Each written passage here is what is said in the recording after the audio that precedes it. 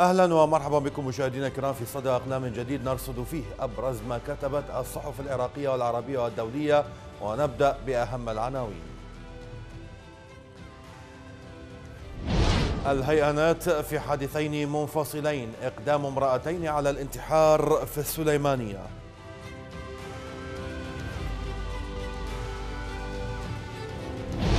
المدى هيومان رايتس ووتش سلطات نينوى تهدد وتعتقل العاملين في مجال الإغاثة.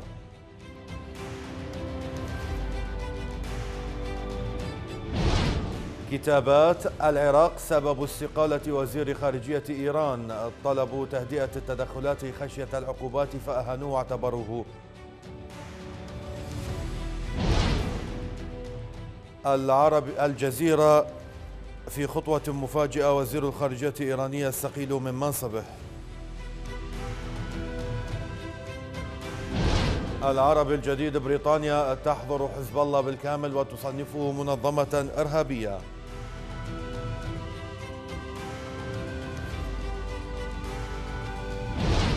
القدس العربي وسائل إعلام إيرانية الزيارة الأسد لطهران وراء استقالة ظريف.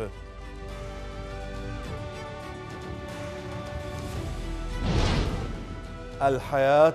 تركيا تصر على دور قيادي في المنطقة الآمنة على الحدود مع سوريا.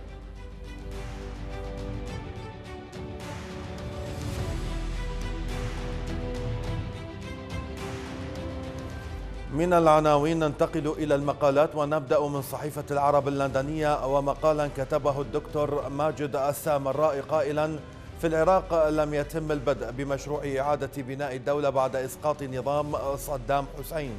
فما حصل هو أن أحزاب الإسلام السياسي هيمنت على العراق بمعاونة ودعم القوتين النافذتين واشنطن وطهران. وكان بإمكان الوسائل الديمقراطية الشرعية الجديدة الدستور والانتخابات أن تشكل منطلقا لبناء نظام سياسي ديمقراطي يحمي أمن المواطن ويضع قواعد الصلة بين الدولة الجديدة والشعب. لكن ذلك لم يحصل لأن من دخلوا بوابات الحكم الجديد انشغلوا بنهم تقاسم المغانم لأنهم جياع الجاه والمال والسلطة فقاموا بتصفية أو إزاحة عشرات الألوف ممن يوصفونهم بالأعداء البعثيين وبالزج بالأميين والجهلة والمدججين بسلاح الحقد والكراهية في جميع مرافق الدولة. فأصبحت الفوضى المدمرة هي أو المدمرة هي عنوان مرحلة امتدت 15 عاما. زعامات الأحزاب الإسلامية التابعة فسدت وأفسدت وتوهمت أن التبعية لطهران عنصر قوة. العروبيون يواجهون جميع حملات التشويه من قوى الإسلام السياسي الشيعي بصلابة تتعزز بمساندة شعب وسط وجنوبي العراق في وجه قوى الفساد والظلم. والحكومة في دائرة ضيقة من الخيارات لأن أزمات العراق كبيرة لا يحلها مجرد توفير الكهرباء والصحة والتعليم. رغم أنها مرتكزات الانطلاق بمشروع الدولة الجديدة الغائبة لحد اللحظة. الأزمة الخطيرة هي فقدان عناصر بناء هذه الدولة المتمثلة بنظام حكومي قوي يوفر العدالة وينشر القانون الصارم دون خوف. والعراق غارق في فوضى صنعتها الأحزاب الإسلامية التابعة لدرجة التعتيم على أي مبادرة أولوية للتغيير والإصلاح قد تقوم بها بعض القوى الخيرة. ودائما ما تجهز القوى الفاسدة الشريرة أغطية لتعويم الأزمات مثل تحويل نتائج معركة الحرب على داعش إلى سلة من المكاسب السياسية. لكن قوى الإسلام السياسي التابعة استقوت بنفوذ نظام ولاية الفقيه الإيراني لمنع ذلك وقمعت المتظاهرين بالسلاح في مدن الجنوب وخاصة البصرة وزجت ببعض الشباب في السجون. وأكمل الكاتب مقاله كاتبا إن الأحزاب الإسلامية الموالية لإيران ورغم مظاهر القوى المفتعلة فإنها تعيش قلقا مصيرها المرتبط بالوضع الإيراني المحاصر حاليا في العراق. وهذه الأحزاب لا تمتلك مثالا واحدا يشفع لها أمام الشعب العراقي. أليست هي المسؤولة عن مظاهر الانهيارات الكبرى في حياة هذا الشعب العريق الذي ظل متماسكا لكنهم استهدفوا قلبه الشباب وعناصر حياته وهي تتجاوز قصة الكهرباء والصحة والتعليم رغم أهميتها إلى عملية تفكيك وهدم كبيرين في حياة المجتمع العراقي.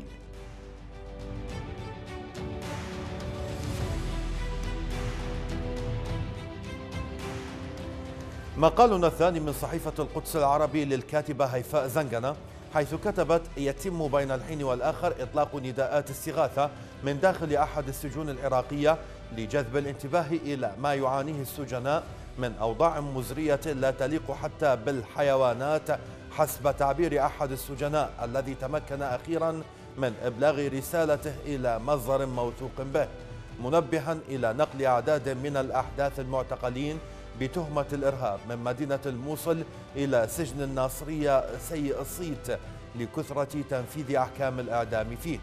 وطالب صاحب الرسالة ذوي الضمائر الحية والمجتمع الدولي بالتدخل لإنقاذ حياة الفتيان ويحيلنا هذا النداء وتهمة الإرهاب التي وسمت الفتيان وعلى الأغلب اعترافاتهم إلى تصديق ناقل النداء حسب المعطيات المتوفرة حتى اليوم.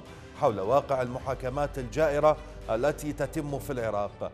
في ظل نظام قضائي يتسم بالعيوب العميقة حسب تقرير لمنظمة هيومان رايتس ووتش الحقوقية ويشير فوز العراق بهذه المرتبة العربية إلى وجود هوس مرضي يدعى عقوبة الإعدام.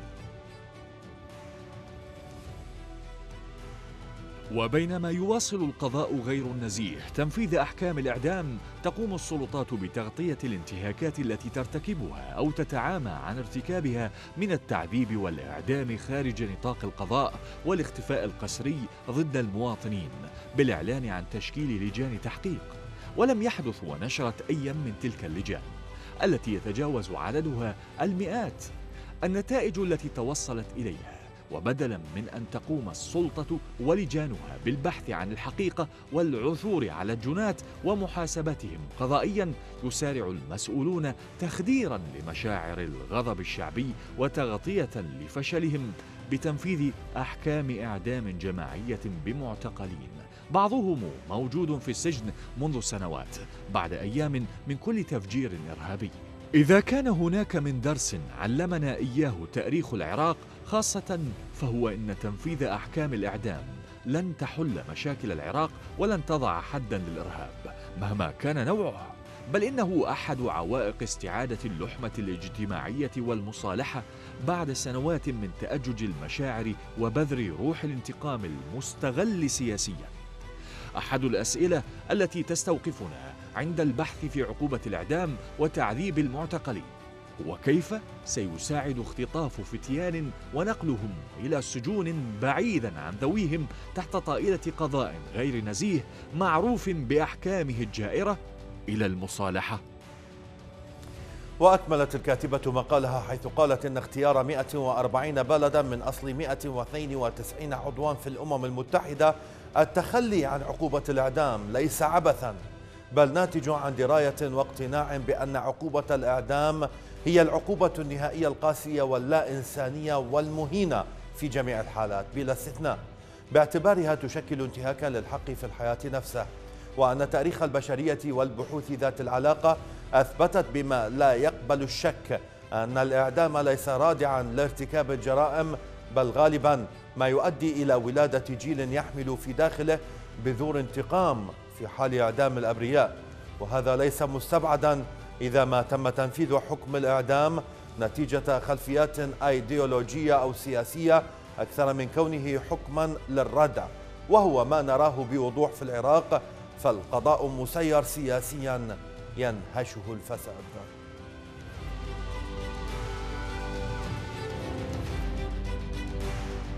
ننتقل إلى موقع كتابات ووجدنا مقالا كتب فيه علاء كرم الله لم يؤدي الاجتياح الأمريكي للعراق في إلى إلى سقوط النظام السابق فحسب بل أدى إلى تدمير دولة كاملة بكل كيانها السياسي والعسكري والاقتصادي والثقافي والاجتماعي والحضاري.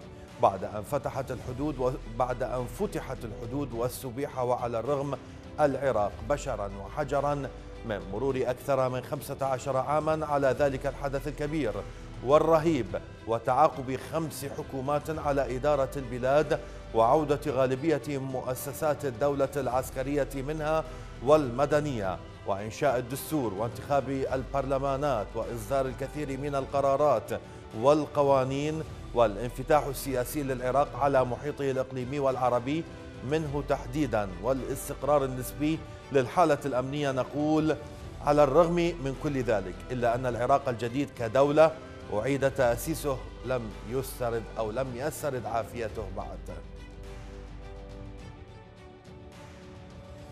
فلا زالت هيبة الدولة ضعيفة بعيون الناس وقد كان للتطبيق الخاطئ للديمقراطية والفيدرالية باعتبارها الأساس الذي يقوم عليه النظام السياسي الجديد في العراق أثره الواضح في ذلك.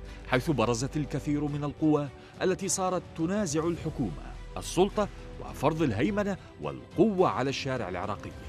إنما حدث في العراق من فراغ سياسي وأمني بعد سقوط النظام السابق وغياب صورة الدولة بشكلها المركزي والتي جبل عليها الشعب العراقي منذ تأسيس دولته في عام 1921 دفع بالكثير من المواطنين إلى الاستقواء بعشائرهم وطوائفهم الدينية وقومياتهم لتكون ملاذا آمنا ومصدر قوة لهم.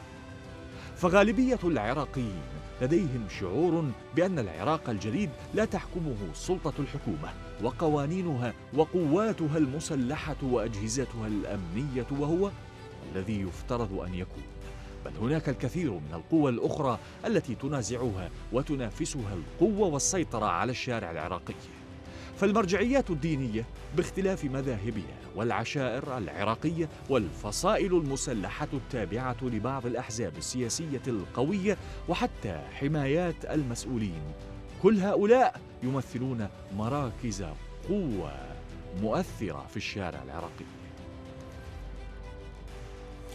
وأكمل الكاتب مقاله كاتبا أن وجود القوات الأمريكية وسفارتها التي تمثل مركز الثقل الأكبر والأقوى لكونها لا زالت صاحبة الحل والعقد في الشأن العراقي كل هذه القوى بمختلف توجهاتها وغاياتها وأهدافها عكس صورة مشوهة لا لضعف الحكومة فقط بل لفقدان غالبية هيبة الدولة بشكل عام وأن العراقيين يشعرون الآن بشيء من الأسى والخوف بأن هناك أكثر من دولة داخل الدولة العراقية فمتى تنتهي مشكلة لا دولة في العراق؟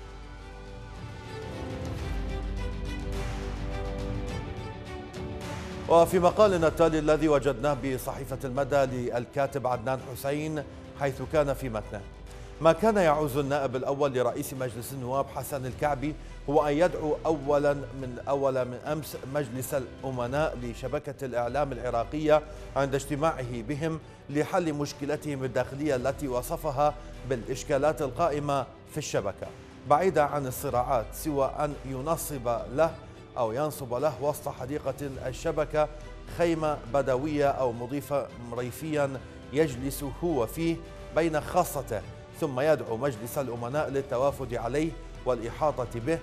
فيما فناجين القهوة واستكانات الشاي تتوزع على الجميع قبل أن يطلب منهم عقد مرادات أو صلح. نعم هكذا بدا لي السيد عشائري الكعبي في تصريحه الذي ربما كان مليئا بالنوايا الحسنة. بالتأكيد لن يفلح السيد الكعبي ولا عشرون واحدا مثله في تحقيق بغيته مثلما لم ينجح سابقوه في الحل بالطريقة ذاتها. مشكلة شبكة الإعلام والخلاف بشأنها ليست مشكلة دابة تجاوزت الحدود إلى حقل الغير إنها مشكلة سياسية ومالية كبيرة جدا. وحلها يكون سياسيا وماليا. عشرات من الإعلاميين من داخل الشبكة وخارجها ومن أهل القانون وقادة الفكر بحثوا في هذه المشكلة كتابة وقولا مقدمين الحلول لكن أحدا لم يستمع إليهم. مشكلة الشبكة من جنس مشكلة الهيئات المستقلة. جميعا حلها واحد يتمثل باحترام والتزام استقلاليتها المنصوص عليها في الدستور والقوانين النافذة. الحل ليس مستحيلا ولا متعبا. لو لم تتجاوز الأحزاب السياسية المتشبثة بالسلطة على أحكام الدستور والقوانين في هذا الخصوص ما كانت هناك مشكلة أصلا ولا كان هناك فساد ولا هدر هائل للمال العام في هذه الهيئات. لن يكون الحل بالإسراع في انتخاب رئيس مؤقت جديد لإدارة الشبكة. وأعقب الكاتب مقاله قائلا لن يكون الحل بأن تضع لجنة الإعلام والثقافة النيابية خريطة طريق مع مجلس أمناء الشبكة خلال السنوات الأربع المقبلة وتشخيص السلبيات والعمل على النهوض بالواقع الإعلامي للشبكة بما يضمن تفعيل دورها واستقلاليتها وتميزها على وسائل إعلام عربية وعالمية أخرى. فالخريطة موجودة والقانون موجود والنظام موجود ومدونات السلوك ومعايير العمل موجودة.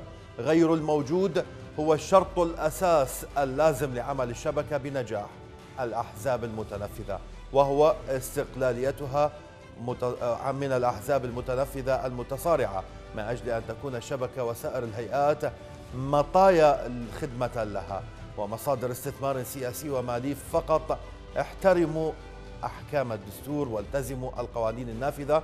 ستجدون أن عقد الشبكة أو عقد الشبكة قد تفككت ومشاكلها قد حلت.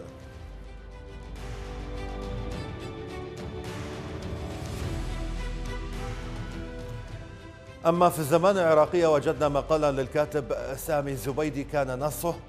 الفساد ثقافة قالها ويقولها سياسيون مصادفة دائما في وسائل الإعلام وهم أول من يمارسه فمن الذي حول الفساد من ممارسات محدودة إلى ثقافة. إنهم أغلب كبار الساسة وكبار المسؤولين الحكوميين في جميع السلطات دون استثناء التشريعية والتنفيذية والقضائية. فبعد أن كان الفساد في أولى مظاهرة يمارس من بعض الموظفين في دوائر الدولة. استشرى بشكل كبير ومخيف عندما مارسه أغلب وساسة وقادة البلد من قمة هرم السلطة إلى قاعدته. أول من مارس الفساد هم قادة الأحزاب والسياسيون والوزراء ونزولا إلى باقي الدرجات فاستولوا على عقارات الدولة وعقارات أركان النظام السابق سجلوها بأسمائهم وأسماء أولادهم ثم سنوا قوانين لرواتبهم ومخصصاتهم التي لا مثيل لها في العالم. خصصوا رواتب تقاعدية لهم بعد خدمة أربع سنوات في مخالفة لقانون الخدمة والتقاعد. وشملوا أنفسهم وأولادهم برواتب السياسيين زمن النظام السابق إضافة لرواتبهم العالية. ثم زوروا الشهادات لاستلام مناصب عليا في الدولة. وبعد ذلك بدأوا بعمليات سرقة موازنات الوزارات والهيئات ومجلس النواب والمحافظات وعقد صفقات وهمية تسرق مبالغها وصفقات لشراء أسلحة قديمة بأسعار جديدة وصفقات لشراء مواد فاسدة للبطاقة التموينية ودفع مبالغ كبيرة لشراء مناصب عسكرية وأمنية عليا. وسرقت مبالغ المشاريع الكبرى التي لم تنفذ إلا على الورق فقط. واطلعت الأحزاب بسرقات كبرى للنفط وغيرها من عمليات الفساد التي أصبح ثقافة كما يقولون بعد أن كان محدودا ثم توسع ليصبح آفة كبرى يمارسه أغلب السياسيين والمسؤولين في الدولة ووزراء ومحافظون ورؤساء هيئات وأصحاب الدرجات الخاصة والقضاة وموظفو الدولة حتى أصبح لكل حزب وكتلة مؤسسة اقتصادية تدير أعمال الفساد والسرقة والنهب. وهكذا استشرى الفساد في كل مؤسسات الدولة حتى العسكرية والأمنية منها. فتحول إلى ظاهرة علنية وكبيرة لم يستطع أحد مجابهتها لأن رؤساء الأحزاب والكتل والساسة الكبار هم حيتان هذا الفساد. وأردف الكاتب قائلا ونتيجة لهذا الفساد فقد أهملت أو أهملت الخدمات التي تقدم للمواطنين ولم تنجز المشاريع الخدمية في المحافظات وسرقت المبالغ المخصصة لها وتقاسمتها الأحزاب المتنافذة واستفاد من هذا الفساد الكبير سماسرته فظهرت طبقة في المجتمع من الطفيليين الذين أصبحوا في ليلة وضحاها من أصحاب المليارات وهؤلاء كانوا يديرون عمليات الفساد الكبرى للسياسيين وعقد الصفقات مع الشركات وتحديد العمولات عن كل صفقة. ناهيك عن أبناء المسؤولين وصغار السياسيين الذين أصبحوا من أصحاب العقارات والعمارات والشركات في الداخل والخارج.